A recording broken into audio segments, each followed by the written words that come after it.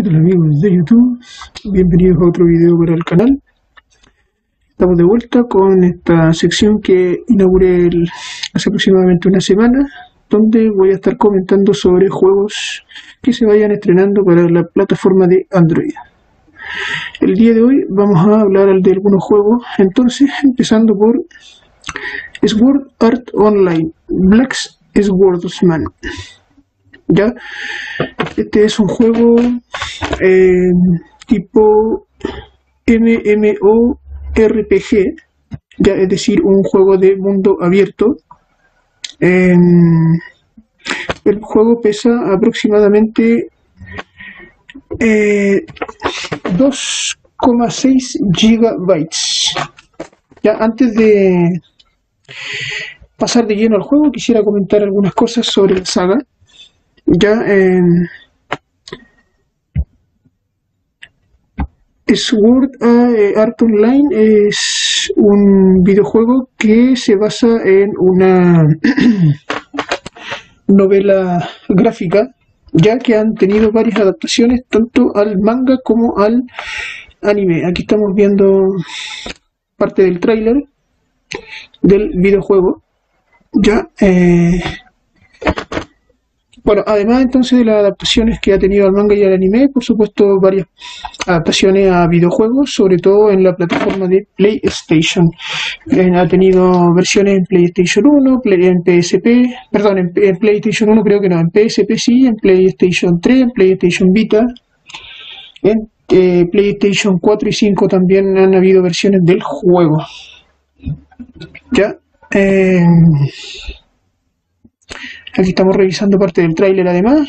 Como vemos, MMORPG, mundo abierto, vamos a ir combatiendo en distintas zonas contra bosses. Ya también tenemos que ir deambulando por el mapa, conversando con los vecinos por ahí, ya para ir también eh, avanzando y conociendo la historia del juego. Una de las cosas que me llama la atención, la verdad es que no puedo decir que he jugado este juego, no, no lo he jugado de hecho, pero sí conozco este juego específicamente que está acá, que se llama Dengeki eh, Dengeki Bunko Fighting Climax. Este es un juego de pelea.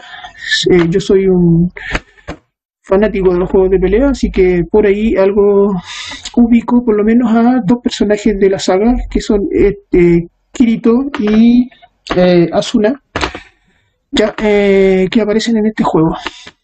Acá un pequeña, una pequeña muestra del juego en cuestión. Dengeki Fu eh, Bunko Fighting Climax. Aquí estamos viendo los combos en el caso de Kirito un movimiento especial. Y acá también de el otro personaje que aparece en el roster de este juego que se llama Asuna. Ambos son eh, eh, personajes de eh, Sword Art Online. ¿Ya? Bueno, dicho eso, vamos a pasar de lleno al tema de este juego específicamente. Como les decía, es un juego MMORPG eh, mundo abierto, una de las cosas que hay que tener en cuenta es que estamos ante un juego en 3D, ¿ya? Eh, cuenta con un modo historia, la cual se nos va a ir contando a través de diálogo. Eso sí, el juego por de momento solamente en idioma chino o algún idioma oriental, creo que chino. Eh, Vamos a tener que ir eh, entonces explorando el mapa para que a través de diálogos con los distintos eh, mobs, creo que se llaman, los personajes que aparecen en ciertas zonas del mapa, nos vayan a ir dando misiones y así vamos a ir eh, conociendo y avanzando en la historia del juego. Ya él cuenta con un sistema de mejora de personaje, obviamente, mejora de nivel de experiencia, las habilidades. Una de las cosas también interesantes es que tiene un sistema que permite eh, básicamente mm, eh, mejorar o adaptar los gráficos del juego a las propiedades de cada dispositivo ya de tal manera de optimizar de alguna forma eh, el funcionamiento del juego ya. Es bastante bueno eso eh, permite mejoras en términos de jugabilidad sobre todo, evita a cierto punto caídas y salidas del juego, ya así que es una función bastante buena que incluye este juego. Nos va a permitir eh, manipular el tema de los gráficos, subirlo, bajarlo y eso viene bien. Otra cosa que me llamó la atención de los gameplay que estuve revisando, en los mapas cambian la, en los momentos de el día, ya por ejemplo se pasa de día a la noche, de noche a día, lo cual me parece un detalle realmente muy interesante en este tipo de juegos. Ya, em,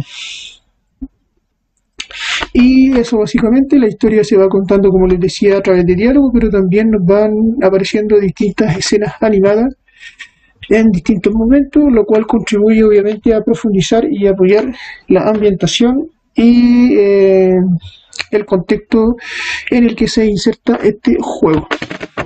Así que este es el primer juego que les quería mostrar, es World Art Online Black Swordsman. Cuenta con varios personajes además para ir reclutando y básicamente eso. Bueno amigos, el segundo juego que les quiero presentar es Albion Online. Ya, este juego no es nuevo realmente, de hecho ya tiene un año y más incluso creo eh, de lanzado a plataformas tanto para PC como para móviles. Eh, lo nuevo es que se está eh, se acaba de estrenar el juego en la Google Play, ya lo cual igualmente es bastante bueno. Ya el juego, una de las cosas que llama la atención es que desde los inicios ha desarrollado una campaña publicitaria realmente importante.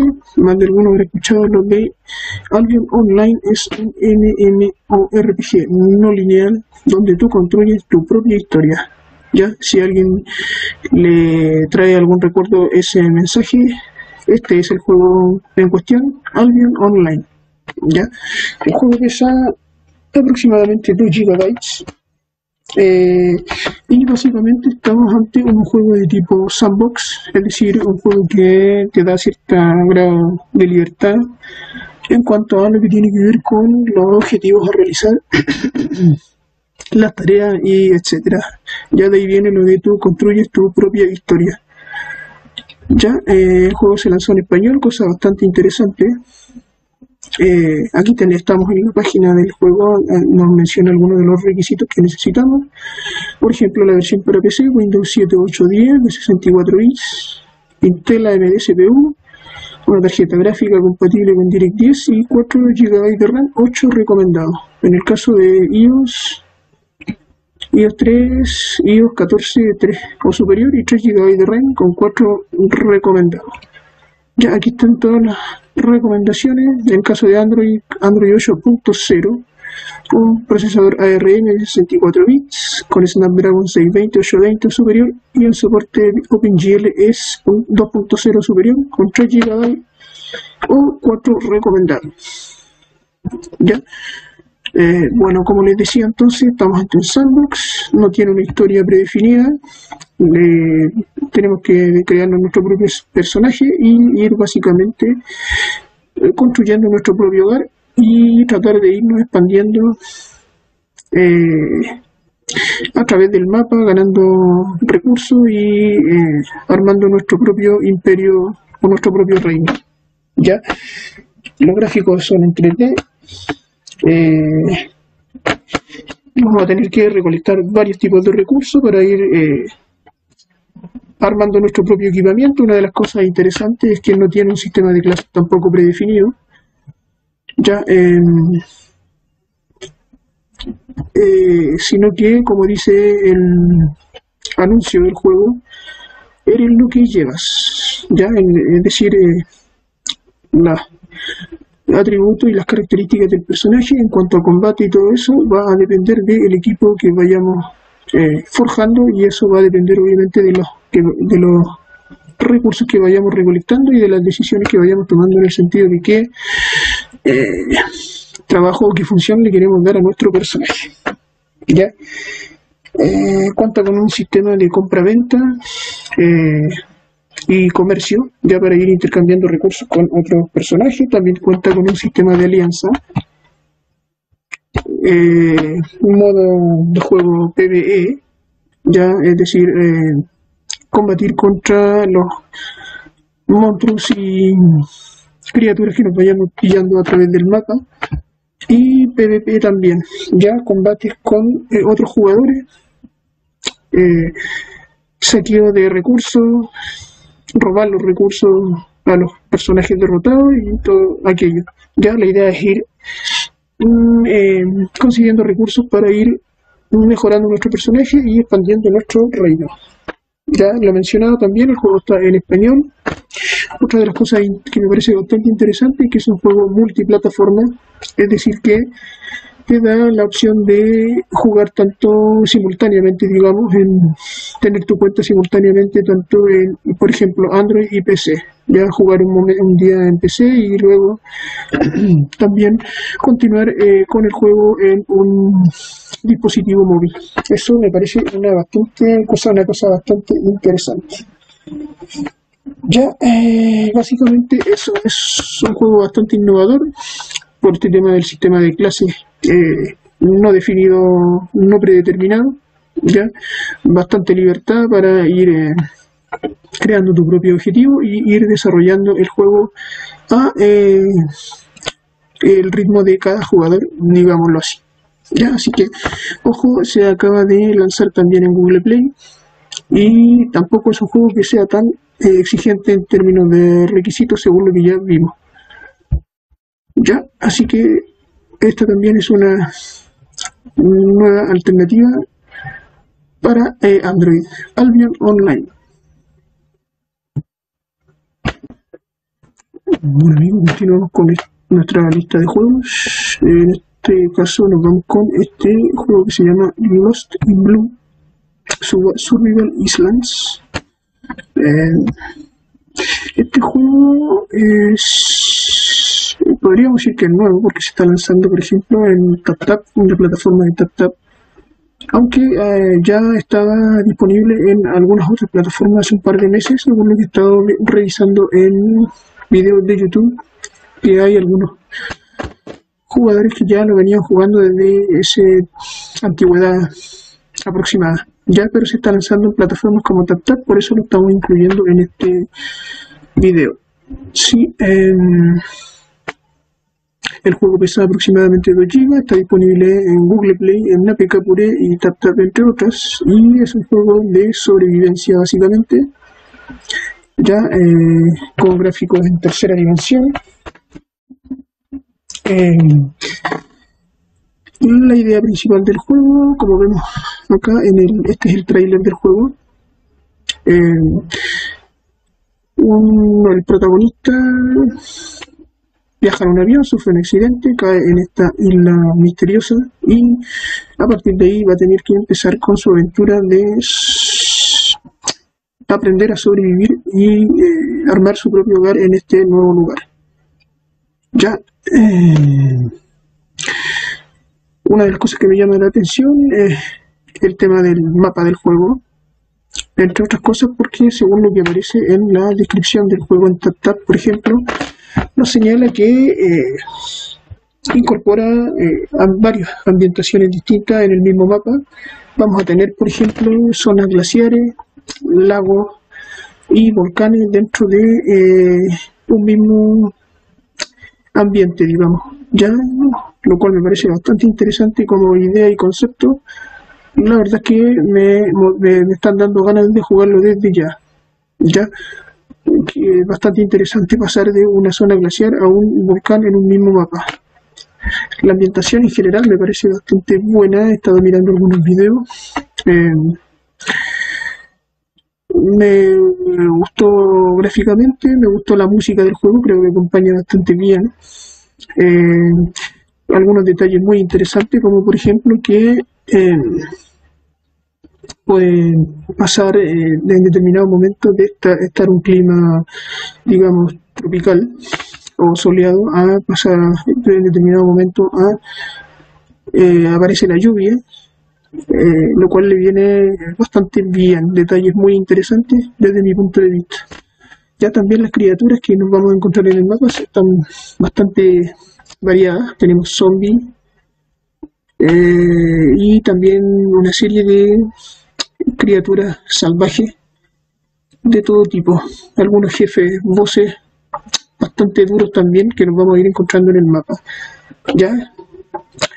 Eh, no he revisado tanto gameplay, pero he visto varias de las criaturas bastante interesantes. Eh, nos, dice además la descripción del juego que nos vamos a encontrar con muchos misterios en las distintas zonas del mapa y con criaturas ancestrales. Así que en general el concepto y la ambientación detrás del juego me parece que en teoría al menos están bastante interesantes.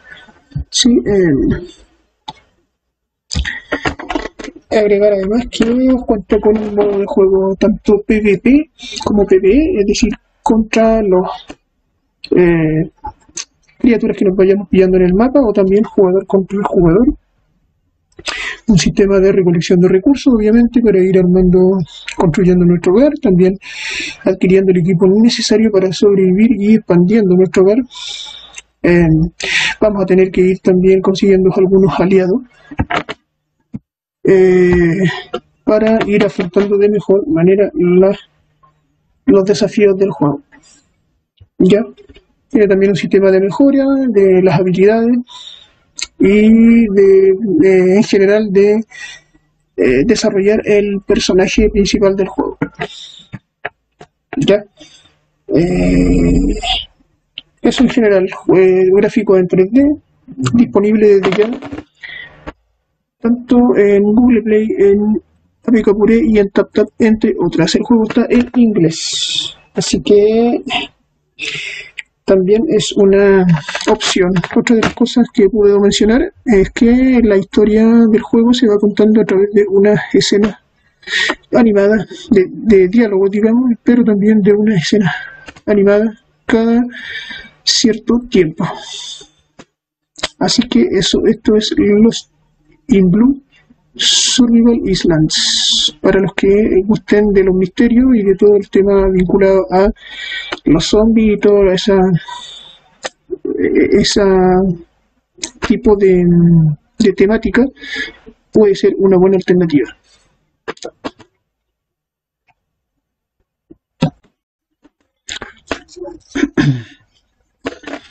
Bueno amigos, continuamos avanzando en esta lista de juegos nuevos que se están lanzando, que algunos ya se han lanzado eh, para Android. El caso del juego que vamos a revisar ahora, Alchemy Stars. Este juego eh, todavía no se lanza, ya está casi casi listo. Eh, estamos ante un juego de RPG táctico que tiene un peso de aproximadamente 2.3 gigabytes.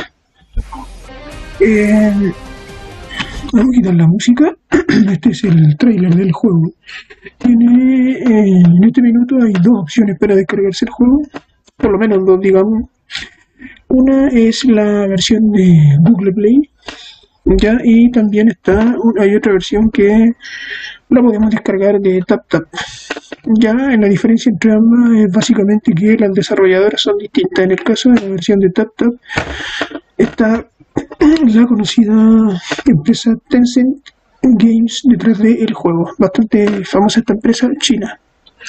Y en el caso de la versión que tenemos disponible en Google Play, que todo esto todavía no está eh, abierto los servidores, pero debería estar entre probablemente ya el día de mañana la versión lista está eh, desarrollada por la empresa eh, Próxima Beta. ¿ya? Próxima Beta, así se llama. ¿Cuál es la diferencia entre las dos versiones?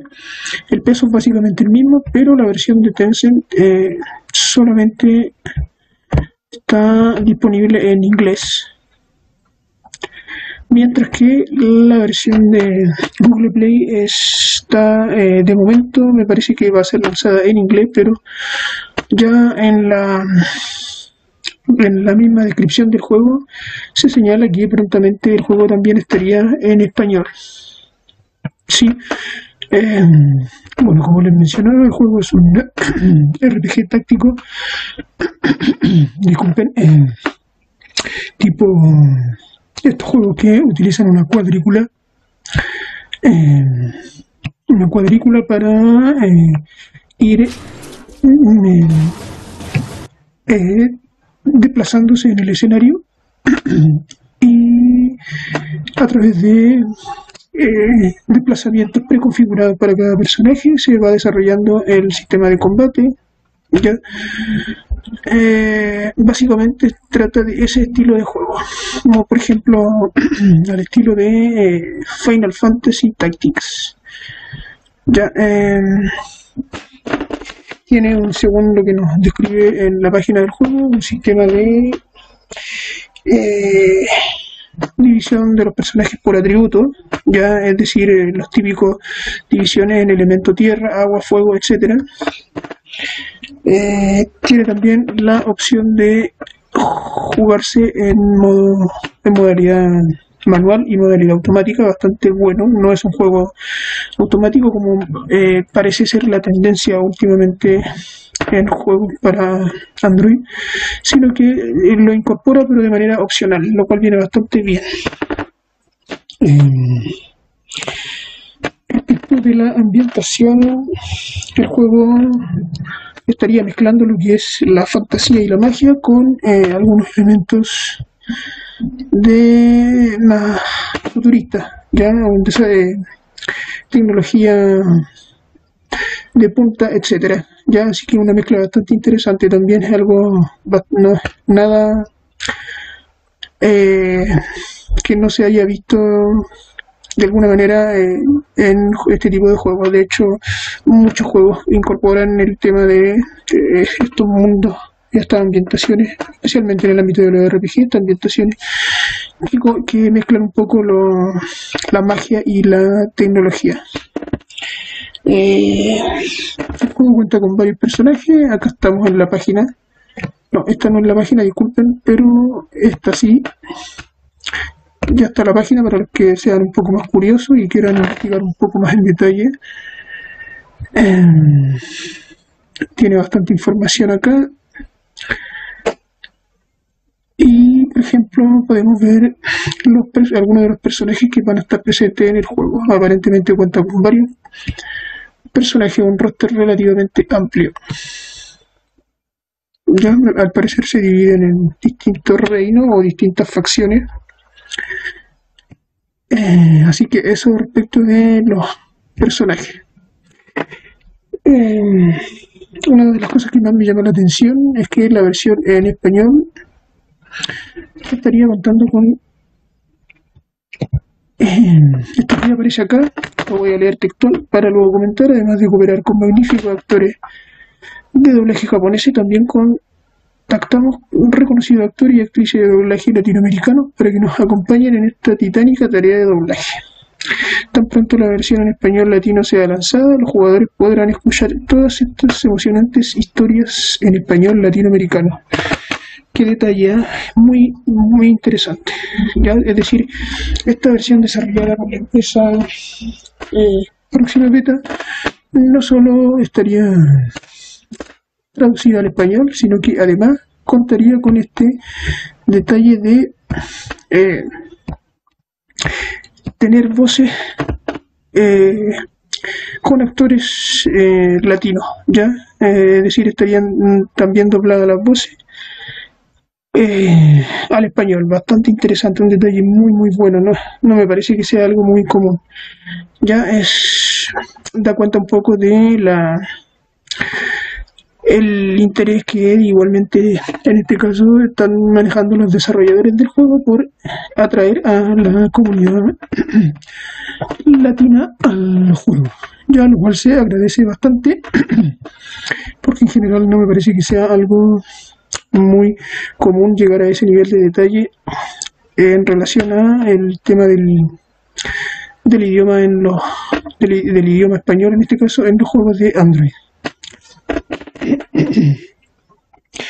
Así que básicamente diría eso. Ya me parece que el juego todavía no está eh, abierto, pero ya para el día de mañana me parece que ya va a estar disponible para eh, jugarlo, digamos. Ya el juego ya está disponible para descargar, tanto en TapTap como Google Play.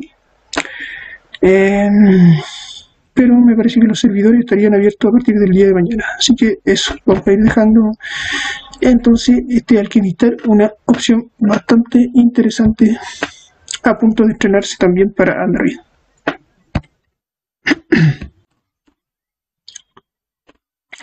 Bueno amigos, para finalizar con esta lista nos vamos con el juego Devil May Cry Mobile, Devil May Cry Peak of Combat. Ya, juego basado en una franquicia muy famosa, Devil May Cry de Capcom. Este juego eh, ha sido creado por la empresa Youngchang Game en colaboración obviamente con Capcom. La versión para Android, al menos la que está en Google Play disponible, es lanzada por la empresa Nebula Joy. Ya no está disponible en todos los países. En Google Play, en todo caso, por lo menos en mi país, no estaría. Eh, en este caso en Chile no está disponible la versión en Google Play. Ya, pero en otras partes puede que sí lo esté, así que ahí a tener ojo y a revisar el tema. De lo contrario, lo podemos también descargar de páginas como TapTap. Em, el juego tiene un peso de aproximadamente 2 gigabytes, eso solamente en principio, porque en realidad una vez instalado ya el juego debería estar pesando aproximadamente unos 7 gigas, ¿ya? Así que, ojo ahí, ahí requiere bastante espacio. Acá se aplica bastante, literalmente, eh, el, dicho, no sé si lo han escuchado, que dice que vale su peso en oro. Ya es decir, el juego cuenta con unos gráficos muy buenos para ser un juego de móvil. Yo diría que los gráficos bastante buenos, excelentes. Pero eh, como contrapartida tiene un costo eso eh, en este caso se expresa en la necesidad de contar con una cantidad de espacio en el dispositivo bastante importante, 7 GB aproximadamente. Sí, em, respecto de la ambientación, el juego es bastante respetuoso de la saga original. Se basa en este mundo tipo con una ambientación tipo gótica, muy típico de toda la saga de Devil May Cry. Eh, los gráficos están en tercera dimensión, la historia se va contando eh, cada ciertos momentos con escenas animadas bastante bien eh, desarrolladas desde mi punto de vista. Es un juego online y respecto de la jugabilidad, jugabilidad perdón, podemos decir que es el, también sigue la misma línea de los juegos anteriores, es un hack and slash juego de acción y hack and slash, donde vamos a tener que ir acabando con toda clase de enemigos, bastante variopintos, en varias localizaciones distintas, dentro de este mundo de vampiros, eh, monstruos y gótico eh, en su base. aparte de jugar con el protagonista de la saga, el conocido Dante, también nos va a dar la posibilidad de jugar con algún otro personaje. Hay una chica que he visto por ahí en algunos gameplays que es también utilizable como personaje del juego. Y me parece que también está la opción de jugar con el otro de los personajes bastante conocidos de la saga llamado Vergil. Eh, cuenta con un sistema de desarrollo del personaje, mejora en las habilidades y también el típico sistema de combo que caracteriza a la saga. Eh, y en general eso lo veo bastante bueno, me gustó mucho el trailer del juego, lo que he visto en cuanto a gameplay también muy interesante. Ir acabando con distintos enemigos en los mapas, algunos jefes finales bastante bien hechos gráficamente. los típicos jefes gigantes muy característicos de la saga, me parece que por ahí también aparecen algunos puzzles eh, así que bastante completo en cuanto a jugabilidad. Ni hablar de los gráficos, un muy buen juego eh, desde mi punto de vista. A tener en cuenta el peso, pero yo diría que es una muy buena opción si contamos con la eh, base tecnológica necesaria, ya una buena cantidad de espacio y unos requisitos eh, más bien medios altos para poder instalar y jugar de buena manera este Devil May Cry Mobile. Así que eso, vamos a ir despidiendo entonces este video con estas imágenes del juego. Y nada, nos estaríamos viendo en un próximo video sobre estrenos y noticias de videojuegos para Android. Que estén bien.